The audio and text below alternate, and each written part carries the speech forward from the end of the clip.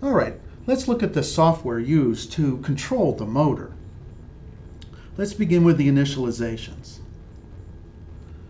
We're going to use port A for the output, so I'll activate its clock.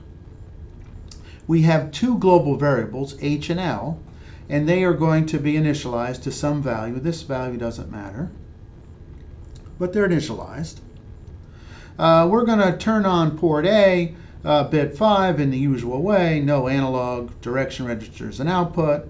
I am going to set the 8 milliamp uh, output current because this has to drive the base of the TIP 120. So I'll enable 8 milliamps out of PA5 uh, and I'll enable it and then initially make PA5 low. I want to run SysTick, so I'm going to set the reload value equal to L and so it will run for uh, this initial value, uh, 8,000. Um, and writing a zero to the current will cause the counter to clear.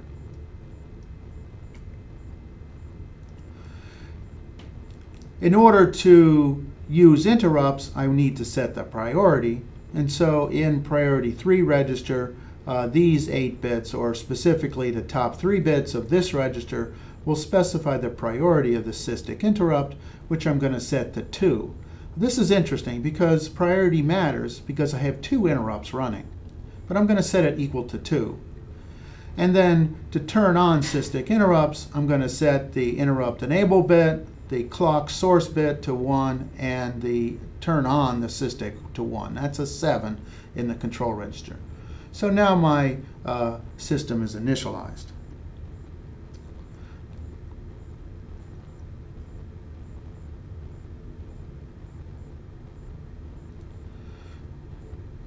Next, let's initialize the two buttons, switch 1 and switch 2, in port F.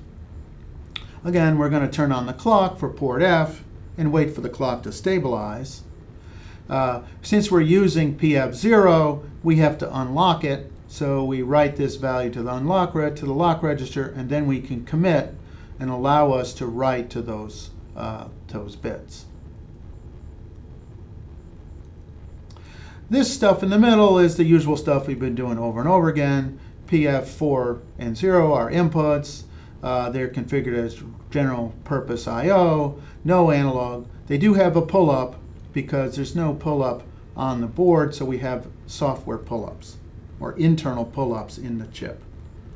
Now comes the interesting part, and that is to set up an edge trigger interrupt, we need to specify uh, it's edge sensitive as opposed to level sensitive, and that's by clearing the bits in the IS register, so it's edge sensitive and not level. We have to specify the edge, by setting these two registers, IBE is not both, but it is falling edge. So we're going to zero the corresponding bits, bit 4 and bit 0, for all three of these. So it will be falling edge, edge-triggered interrupt on port F. I like to clear the flags in the ritual, so the first interrupt occurs after I'm all done. So when you write to the IC register, That'll clear the flags. They probably weren't set, but I'm a little worried about that sort of thing. We do want to arm it, and again, all of these bits could have caused an interrupt, but in this case, we're only going to interrupt on bits 4 and bit 0 from the two switches. I mentioned priority with SysTick.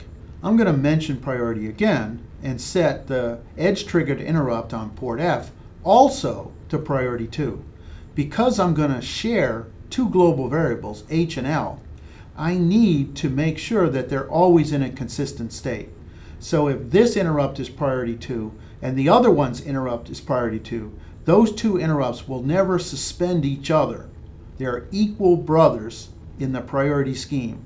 So one will not interrupt the other, so H and L will always be consistent. Now the edge triggered interrupt uh, is an external device, so we need to enable it in the nested vector interrupt controller, and that's here in register um, EN0. Uh, this bit is interrupt 30, which is that um, edge triggered interrupt on port F. You notice I have not enabled interrupts yet. Where do I do that?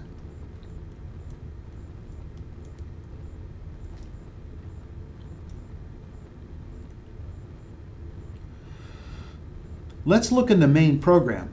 One of the good design practices is to go through the initialization process with interrupts disabled. That means no interrupts can happen.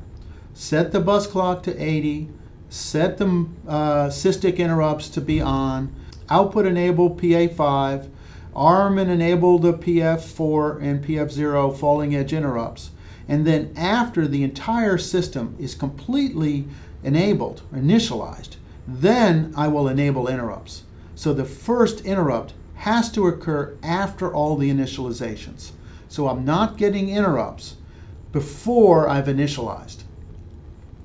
The other interesting thing to observe in the main program, and that is this entire robot controller is going to occur in the software. So all the software to control the robot occurred in the two interrupt service routines, which we'll look at in a moment. But the main program is free to do other things.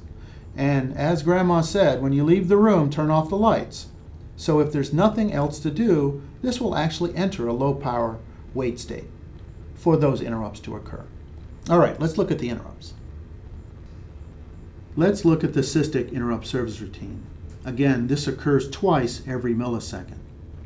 If the signal on PA5 is equal to a 1, this will be true, and we will then set it equal to a 0. We'll clear PA5.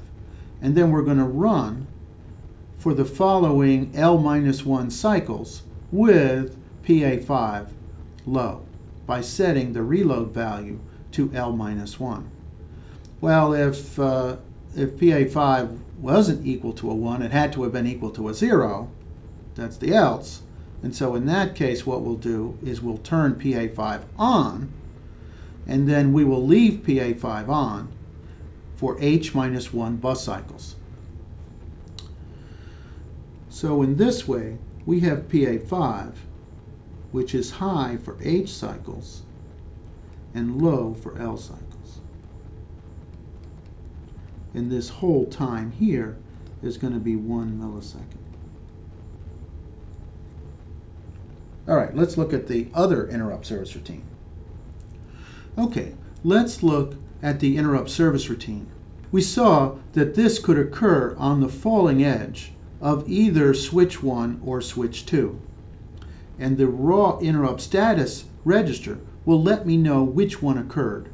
So if the raw interrupt status bit 0 is set, we know that switch 2 was the one that was touched. And so what we're going to do is if there's room, if the L is big enough, we will then decrease L. Uh, decreasing L will cause it to speed up. And then after we looked at switch 2, we'll look at switch 1. Again, the raw interrupt status bit 4 will tell us if switch 1 was pressed. And if switch 1 is pressed, and if L is small enough, we'll make L bigger. Making L bigger, as we saw, will cause it to slow down. And then in all cases, we will force H plus L to be equal to 80,000.